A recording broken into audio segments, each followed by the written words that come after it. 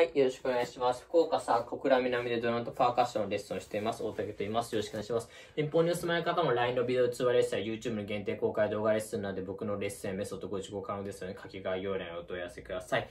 はい、えーと、この動画はシリーズものになってます。ブラシ系ですね。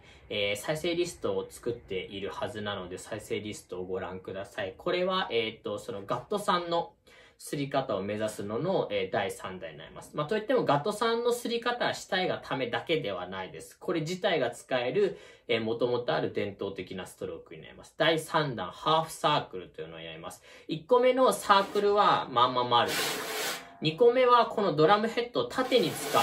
すり方の、えっ、ー、と、1の1みたいなやつやりましたね。で、その次、ハーフサイクル、ハーフサークルは、えー、横に使うすり方になります。で、えー、吸い方の基本が2通りあるんですけども、1通り目は、右手が上、左手が下。これはどっちのやつでもスタート位置は変わらないですが、ここが1。で、反対に着地する瞬間が2。つまり2拍目。3、4、1、2、3、4。右は上向きの半円を、左は下向きの半円を書きます。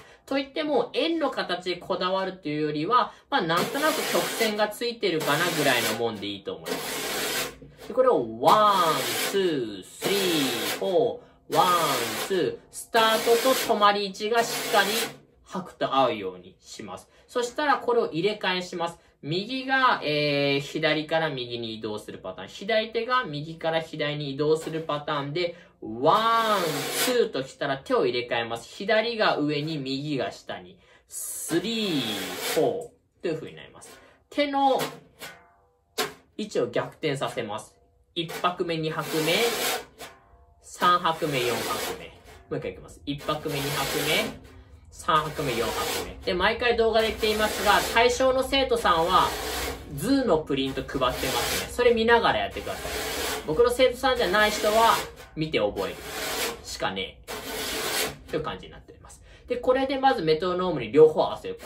こう、同じ方向も、逆も、1、2、3、4、1、2、3、4ができるようになったら、最後、タップしましょう。One, two, three, four, one, two, three, four この入れ違いパターンも one, two, three, four, one, two, three, four, one, two, three, four, one, two, three, four 今度はショートスイープで、 one, two, three, four, one, two, three, four。まあ、内跳ねですね。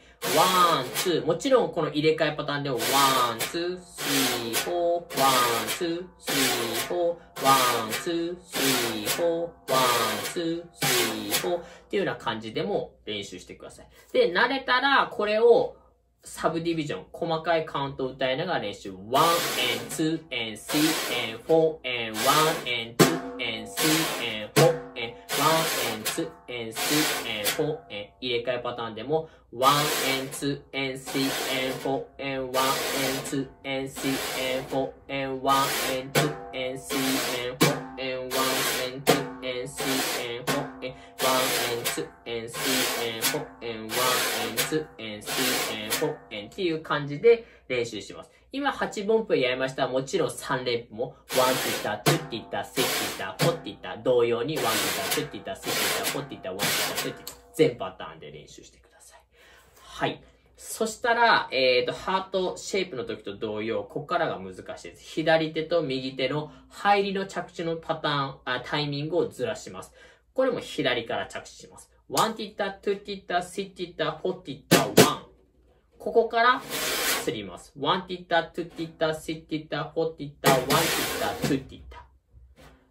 1ティッタ、2ティッタ、3ティッタ、4ティッタ、1ティッタ、2ティッタ、3ティッタ、4ティッタ、1ティッタ、2ティッタ、3ティッタ、4ティッタっていう状態になりますね。入れ替えでも1ティッタ、2ティッタ、3ティッタ、4ティッタ、1ティッタ、2ティッタ、3ティッタ。要はこっちの時も左手が先に着地します。とにかく左手が絶対先に着地。先に着地というより、まあ、裏から着地になるんですね。で、右手が表になります。1ティッタ、2ティッタ、3ティッタ、4ティッタ、ワンティッタ、トゥッティッタ、ティッティタ、フォティタ、ワンティッタ、トゥッティタ、ティッタ、フォティ。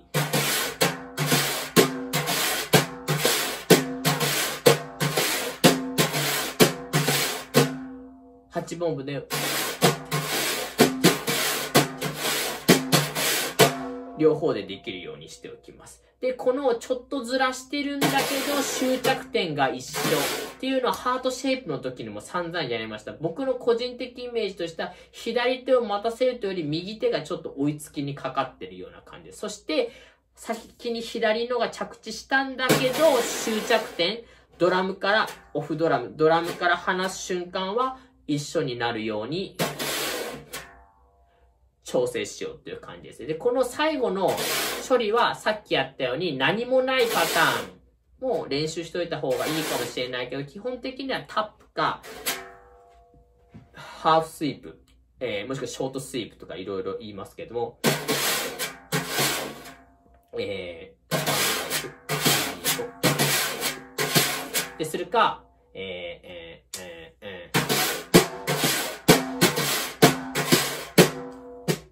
するかした方がいいと思います。はい。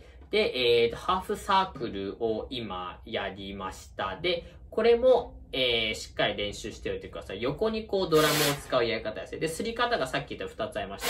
一方向タイプと入れ替えタイプ。これ両方練習しておいてください。後々いろんなストロークをやったりするときとかにとっても役に立つすり方の基本みたいな感じになりますので、これに関しても正直あんまり使うとこ見たことない。バラードとかでたまに、うーん、だってーん、だってーん、だって感じであの、左手先着地を入れず使うっていう人は見たことがありますね。ただ、あんまりこれもそんなに使わないかなと思います。もうちょっと練習に近いようなパターンですね。で、理由としては、あの、スイープが途切れる。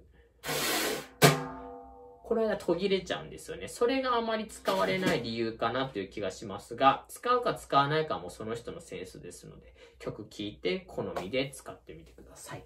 えー、3つ目ですね、これが。次はショルダーストロークと一番短いのいきます。それができるようになったら、まあ、なんとなく感覚的に、えー、スティーブ・ガッドさんのすり方も入ってくるんじゃないかなと。まあ、すぐにはできませんけどね。感覚的に入ってくると言います。次のショルダーストロークはとてもよく使うので、えーとてもよく使いますが、とても難しいので、ここまでのサークル、ハーフシェイプ、ハート、ハーフサークル、ぜひしっかり練習してみてください。では、お疲れ様でした。